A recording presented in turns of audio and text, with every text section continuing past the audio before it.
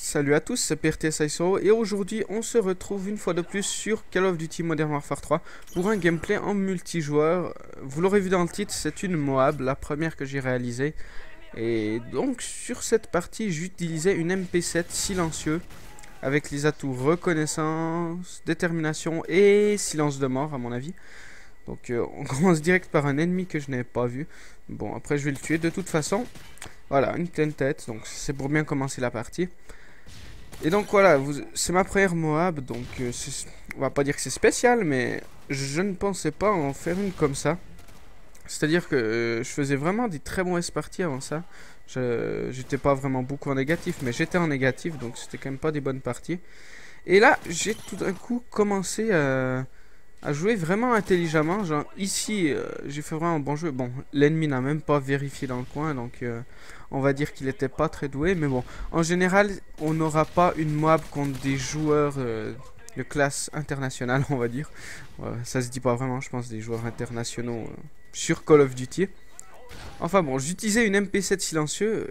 La MP7 qui est vraiment de loin maintenant ma mitraillette préférée sur Call of Duty Modern Warfare 3. Pas parce que c'est la plus efficace, mais la plus efficace est selon moi la PP90M1, PP90M1. Mais tout simplement parce que je sais pas, le fait qu'elle ait aucun recul et qu'elle ait un silencieux est tellement un bon viseur de base également et un très bon tir au jugé, faut l'avouer. Euh, fait que c'est ma mitraillette préférée. D'habitude, je suis plutôt pour la P90, la P90 pour les Français. J'aime bien toujours dire ça, 90 et 90, comme ça tout le monde comprend et tout le monde est content.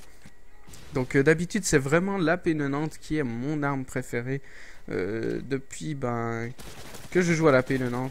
Parce que tout simplement, quand j'étais petit, je regardais tout le temps des films ou des séries où il y avait les gentils qui la P90. Et voilà, donc moi j'aime bien la P90. Mais je dois avouer que là, la MP7, c'est vraiment un gros coup de cœur. Je sais pas, juste rien que le viseur de base, il est tellement génial. Je veux dire, euh, un viseur laser sert à rien pour moi sur cette arme. Parce que vous avez déjà une vue vraiment dégagée. Étant donné que il y a la mire en métal, mais après euh, le reste de l'arme est situé en dessous. Donc vous avez une vue vraiment dégagée. Et euh, pour moi un viseur laser sert vraiment pas à grand chose. Donc bon. Également, euh, je crois que j'ai déjà dit, mais elle a un tir au jugé vraiment très précis.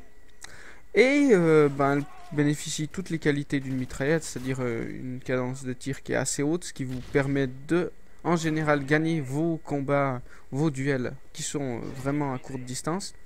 Mais également, ce que j'ai fait sur cette arme, c'est que j'ai mis le recul. Donc, euh, le petit atout d'arme, le recul. C'est-à-dire que mon arme ne bouge vraiment pas du tout. Donc, euh, s'il y a vraiment un type au fusil d'assaut de l'autre bout de la map, euh, si je suis mieux à couvert que lui, enfin, si je vise mieux que lui surtout, je peux l'avoir, puisque même, il n'y a même pas besoin de donner des petites rafales. Je crois qu'elle a un recul inexistant quasiment. C'est une mitraillette ACR en fait. Regardez ça comment je peux les aligner avec facilité à cette distance.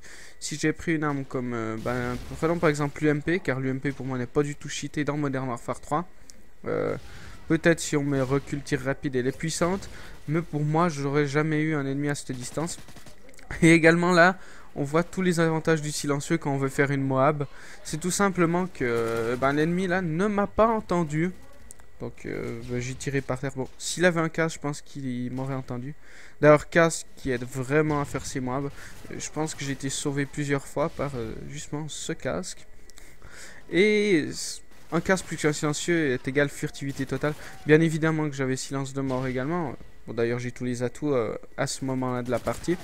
Mais là, par exemple, c'est un moment où bah, j'ai pu entendre l'ennemi arriver et j'ai su qu'il allait venir par les escaliers grâce à un casque.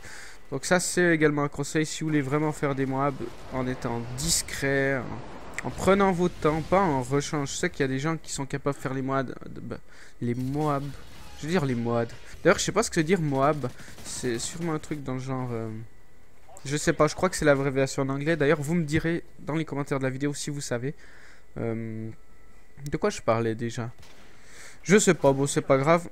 Euh, donc oui, un casque est très utile à faire une map car comme je disais, un casque plus un silencieux est égal au Moab discrète. D'ailleurs, je me suis souvenu de ce que je voulais dire avant.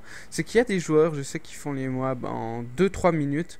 Bon, je veux dire, c'est impressionnant, mais bon, moi, je suis, je suis pas capable de le faire, tout simplement, car il faut vraiment être quelqu'un qui gagne la plupart de ses duels, qui, qui connaît la map vraiment par cœur, qui sait quelle route prendre, euh, qui a des réflexes de malade et tout. Et je ne suis pas quelqu'un comme ça, moi, euh, j'essaye plus de jouer intelligemment pour faire des bonnes parties. Et en général, quand, je mets vraiment mon casque bien réglé, parce que souvent avoir un casque bien réglé, ça signifie que c'est plus compliqué de parler avec ses potes en groupe d'amis, parce que vous entendrez le jeu un peu trop fort, et puis voilà. Quand on a des imbéciles, entre guillemets, hein, c'est gentil, mais qui gueulent à côté de vous, ben voilà, vous avez tendance à couper le son du groupe d'amis. Et bon, c'est pas très grave, c'est soit l'un soit l'autre, mais en jouant intelligemment avec le son du jeu, je pense que faire des Moab est un défi qui s'avère pas si difficile que cela. faut juste prendre son temps. Et bien sûr, je peux pas le faire à chaque partie, mais il faut avoir un peu de chance également. Parce que si on tombe sur des ennemis, comme je dis, qui sont super forts, vous n'allez pas faire une Moab. Parce que tout simplement, eux, ils, maîtriseront bien leurs armes, ils auront des réflexes. D'ailleurs, là également, un jeu très intelligent. J'ai vu qu'il y avait un sniper. Je sais que j'aurais peut-être pu l'avoir, étant donné que j'ai pas de recul sur mon arme. Mais ça valait pas la peine parce que gâcher si près du but une Moab. D'ailleurs, je sais pas combien de kills j'étais. Euh, je connais le score final. D'ailleurs, là, vous avez vu, grâce à la toute tireur d'élite, qui est pour moi une espèce de Wallach autorisé, j'ai pu voir le nom de l'ennemi sur sa tête alors que je voyais pas l'ennemi. Donc, euh, ça, c'est également un atout qui aide vraiment beaucoup. Et bon, Également, sur la classe que j'utilisais au départ, j'ai dit que j'avais la tour connaissance, donc même pas en pro, euh, qui est un atout pour moi qui peut être vraiment utile si on l'a en pro? Car tout simplement, ben, dès que vous touchez un ennemi, euh, il s'affiche sur la minimap comme si il était euh, affiché par un radar, tout simplement. je crois que c'est même affiché par un radar amélioré, enfin, je sais plus comment il s'appelle, le drone amélioré, un truc dans ce genre. Voilà. Donc c'est vraiment un atout qui doit être super utile en pro. Malheureusement, je ne l'ai pas encore en pro puisqu'il faut faire des dégâts explosifs avec la grenade et c'est un atout vraiment que j'utilise pas souvent. Euh, mais bon, d'ailleurs une bonne technique pour utiliser euh, bah, tous ces atouts, c'est d'utiliser euh, le truc spécialiste, je sais pas comment ils appellent ça vraiment, si c'est un kit de killstrike ou n'importe quoi.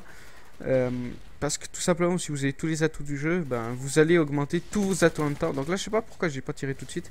Également, chose très intelligente, les spoons dans ce jeu sont très mal faits, mais vraiment très mal faits.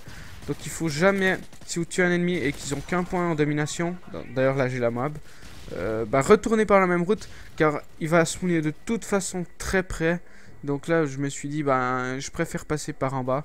D'ailleurs un truc euh, que je me disais qui était un peu con, je savais que j'étais à 22 là. Et j'ai le stress en voyant les deux ennemis quand je me suis dit, il manquera plus qu'un. Mais j'avais oublié que j'avais détermination, donc... Euh, ça, c'est utile d'avoir détermination. Je trouve que ça allège le boulot parce qu'en général, quand il vous reste... Euh, quand vous êtes à 24 et que vous devez faire le 25e, moi, c'est ce qui arrivé des fois sur Modern 2 sur les quelques tentatives que j'ai fait. Euh, c'est vraiment un stress total. D'ailleurs, euh, j'en ai eu 7 alors que c'était du...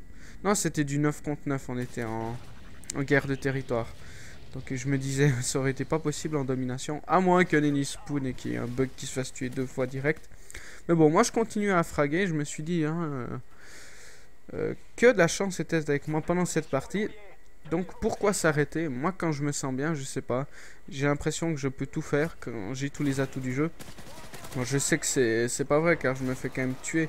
Mais bon là d'ailleurs je vais me faire chourer le kill par le bombardier furtif. Enfin bref, c'était ma première Moab.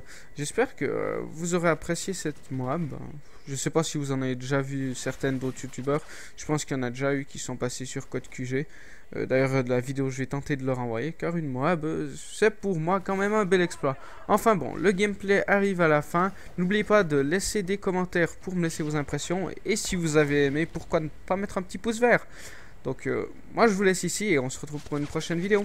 Allez, à toutes, bye bye.